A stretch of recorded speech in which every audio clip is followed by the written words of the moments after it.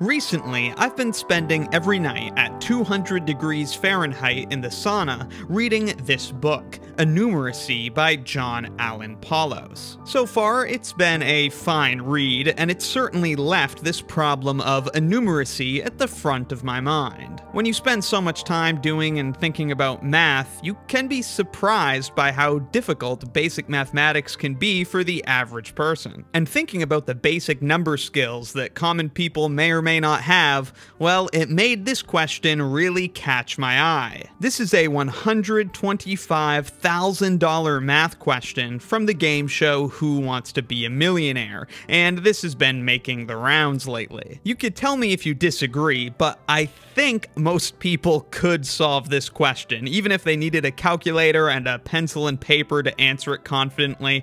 I think most people could answer this question. But putting it in this context of a game show, high pressure, money on the line, no pencil, no paper, it definitely provokes discussion about what the best way to solve the problem is. Is there a nice, clever way to solve the problem that doesn't require writing things down and doesn't require much mental power? Something that perhaps the average person could do while on the hot seat of a game show. Before further discussion, let me just give you a little bit of context. Who Wants to Be a Millionaire is a very popular game show where a single contestant tries to successfully answer a sequence of increasingly difficult multiple choice questions. Of course, they earn money by correctly answering these questions, with the potential to push their luck all the way to a million dollars. Here's the scale of the money earned for each question, along with an item that costs roughly that amount next to the question number. You can see that it starts at $100 for the first question and roughly follows a doubling scheme from there 200, 300, 500, 1000, 2000, 4000, and so on. Now, just by correctly answering a question, you're not guaranteed to get that amount of money, but there are a couple of checkpoints. Once you pass question 5, you lock in your winnings at at least $1,000. There is then one more checkpoint if you can answer a few more questions questions correctly. If you get to 10 questions and answer this correctly, you lock in minimum winnings of 32,000. After this, if you choose to answer subsequent questions, you're putting the extra money on the line. That means when we're looking at this question about which of these numbers is largest for $125,000, this is two questions past that previous checkpoint of 32,000. So we could choose to walk away instead of answering the question. We could take our $64,000 winnings, but if we answer the question wrong, we're only going to go home with 32,000. There is great incentive then to take a stab at answering this question, potentially winning $125,000 and being only three correct answers removed from the million dollar prize. For perspective, here are a few of the previous million dollar questions from the game show.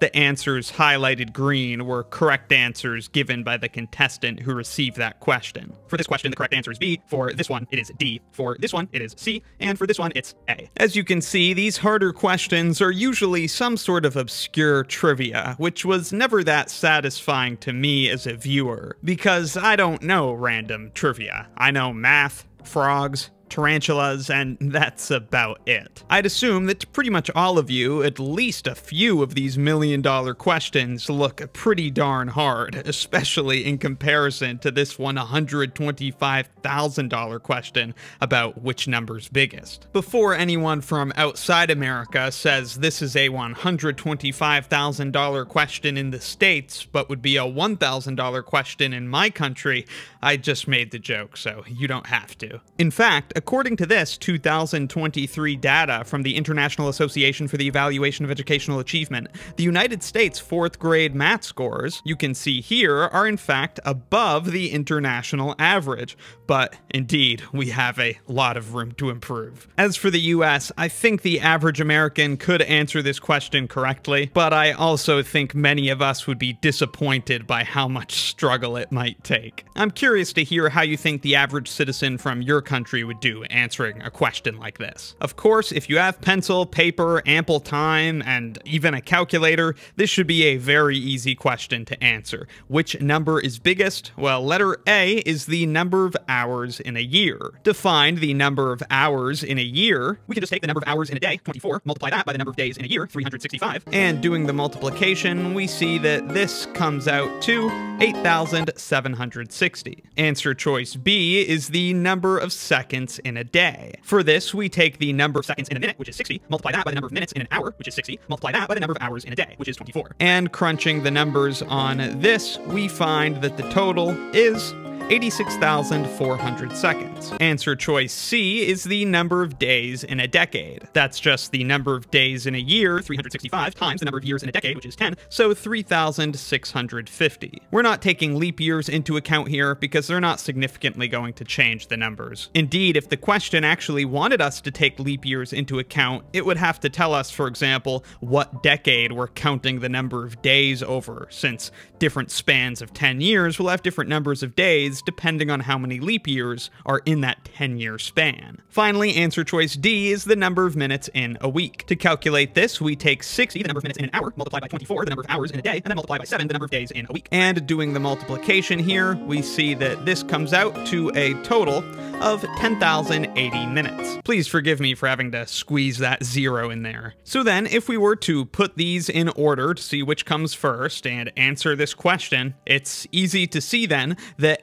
8,760 would be first. That's assuming that when we sort these alphabetically, the blank space is valued above the Y at the end of 80, 86,000 versus 8 space thousand. So this would come first, and then the correct answer to the question. Oh, wait a minute, it says mathematically, not alphabetically. Okay, so mathematically, which of these numbers is largest?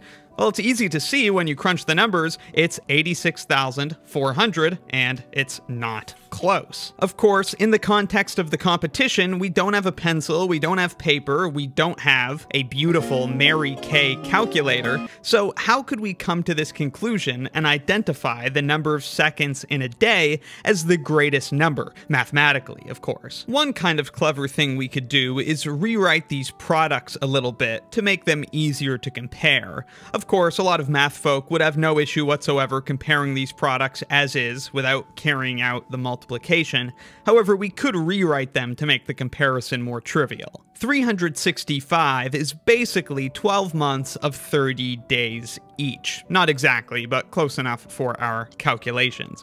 But we're going to rewrite that. Instead of thinking of 365 as 30 days over 12 months, let's think of it as 60 days times 6. So basically just grouping together pairs of months. There are 6 pairs of months, a pair of months has 60 days. If we do that, then the products we are comparing look like this.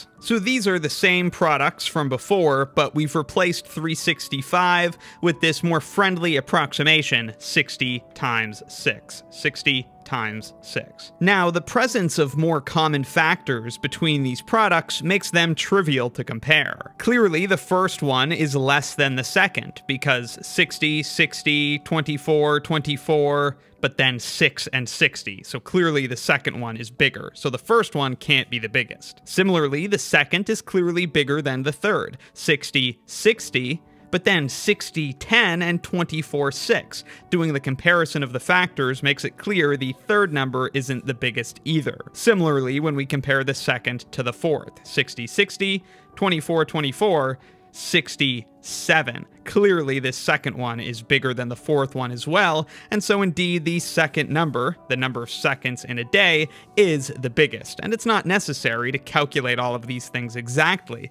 to figure that out. Although this works, I would say it's maybe working a bit too hard to avoid computation. A non-mathematical person is probably not going to think to rewrite 365 in their head as 60 times 6 in order to have a more friendly comparison with with the other products. And by doing that rewriting, now all of the products have three factors, as opposed to if we just write them out the way you would if you were doing exact calculations, two of these products have only two factors, which makes it a little easier to kind of see everything in your head. So here's what I think would be the easiest way to solve this problem, assuming there's no time limit, which for Who Wants to Be a Millionaire, I think there usually isn't. It does depend on what year this was shot, though. But assuming we can just take a couple minutes to think through this carefully in our chair, here's what I think the easiest, most accessible solution for this problem is. I think one by one, the average person is going to see these products in their head while they go through the different possible answers. The average person might not be able to see all of these products at once in their head,